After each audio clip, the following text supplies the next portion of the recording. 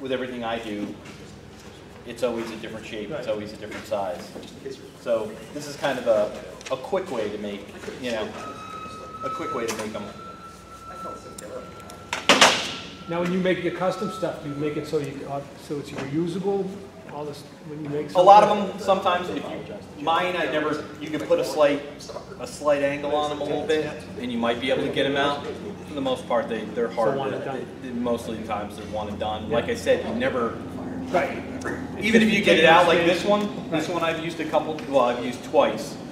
But, and that was because it was in the same house and they Yeah. wanted the same size. Yeah.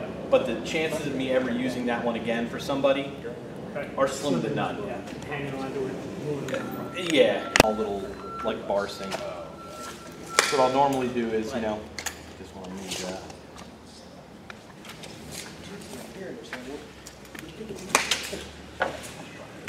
So what I'll do is, this is usually my top part.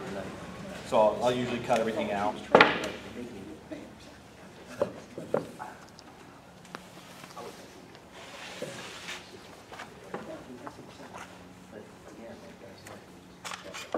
Put the small ones back in.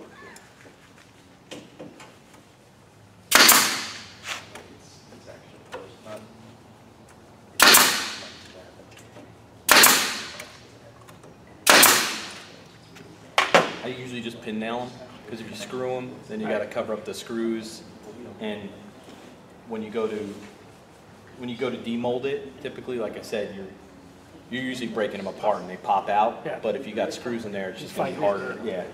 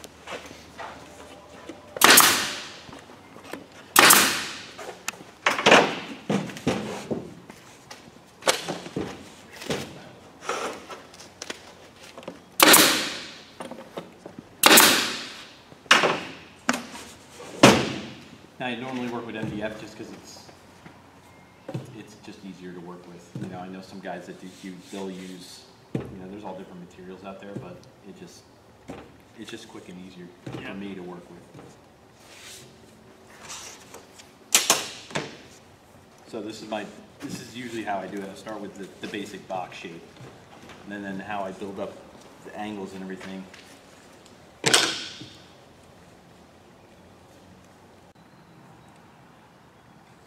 Now what I normally do is I'll, I'll do half inches, half inch for like the box itself.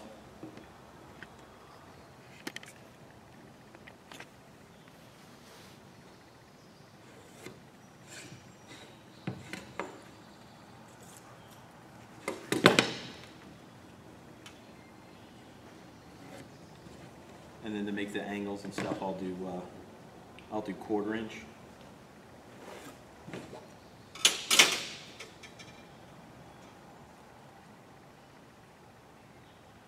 What I do is I start with, this is like, like a five by five square.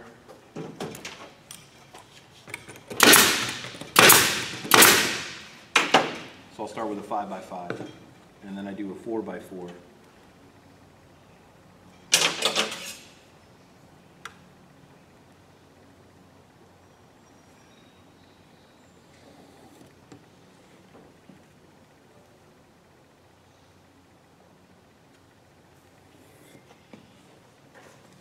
Everything get lined, lined up. Yeah, yeah, do the line just so I'm, uh,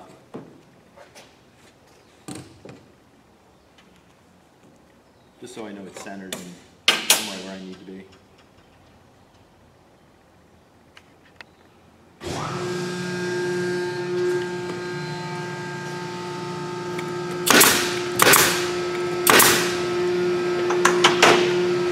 Uh, that's my, usually that's, that's my starting point.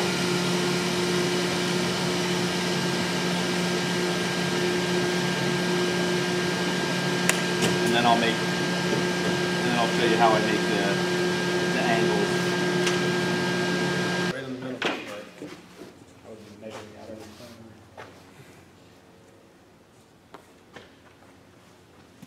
I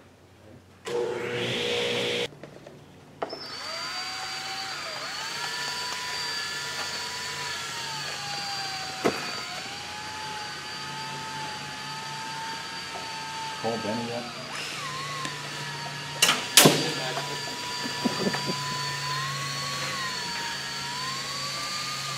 At my shop, I, these angles are usually, I don't know, we'll see if it'll work on his.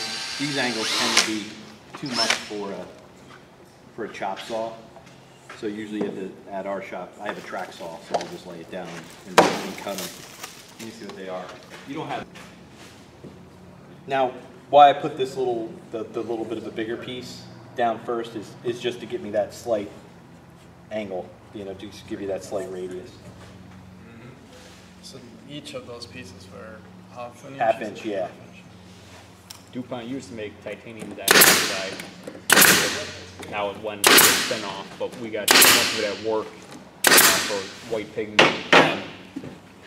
Been so tempted to go in there, scoop a little bit Take out. a little bit. I could sweep enough off the floor to do, you know, last me forever. but Once in a while, they'll do a bag check on the way out, and I Yeah. get caught walking out with floor sweepings. Yeah. What's he up to?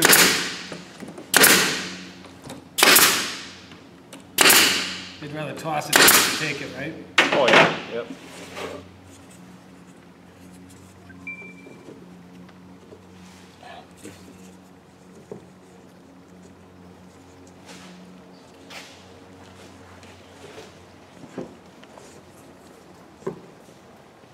Jigsaw skills are not that good.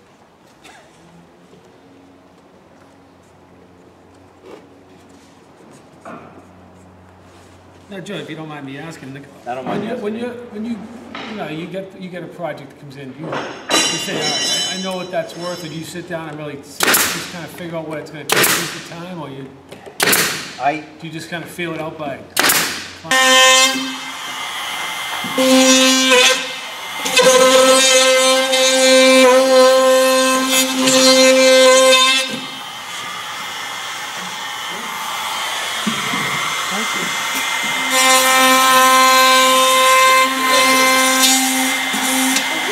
Bob,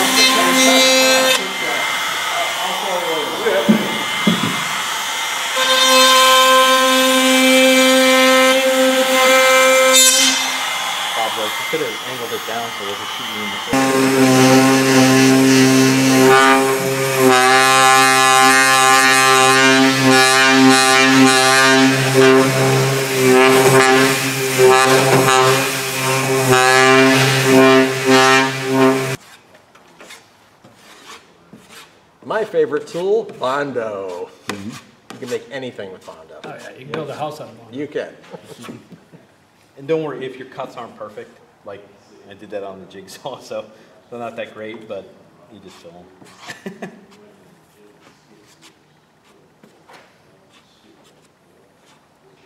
So if you're doing this for, for a client on a job, how long does it take you to build one of these plugs compared to what you buy it for?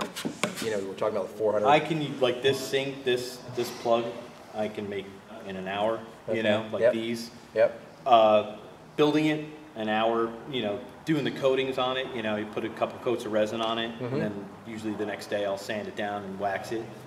Good to go. That's, yeah, yeah, it's good to go. So, you know, but, you know, the, the fiberglass ones, like I said, this is forty dollars in materials at the most, Right. as opposed to most of those sinks start at two hundred plus, you know, Yeah. depending on the size. So even if you pay yourself a hundred bucks an hour, you're still under the cost of one of those sinks. Yeah. Yeah.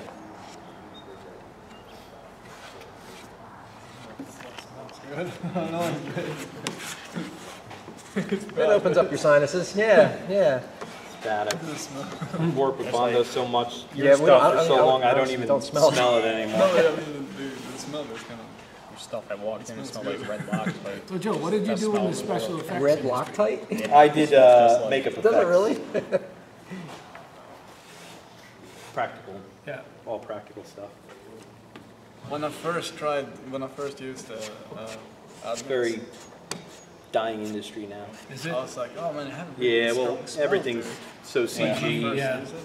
I mean, it, Now, it's like- still, when I, when I Now worked in the like, oh, industry, man, it smells good. Like, The Walking Dead's keeping that alive. the plastic side. not really. No?